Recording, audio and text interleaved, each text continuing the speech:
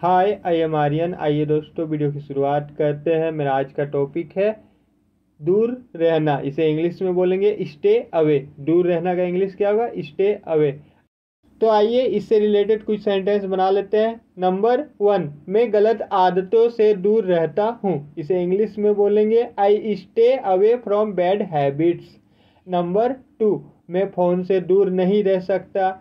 I can't stay away from phone number three, तुम दूर क्यों नहीं रहते उससे?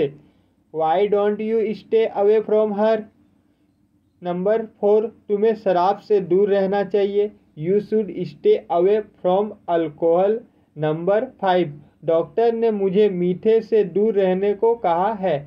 The doctor has told me to stay away from sweets और नंबर सिक्स, इसे आपको कमेंट में लिख के बताना है। तुम मुझसे दूर रहो। चलिए कमेंट में लिख के बताइए। तब तक के लिए बाय वीडियो को लाइक करें। सब्सक्राइब करें। और बेल आइकन को बजा दें ताकि आपको नोटिफिकेशन मिलते रहे नई वीडियोज़ के।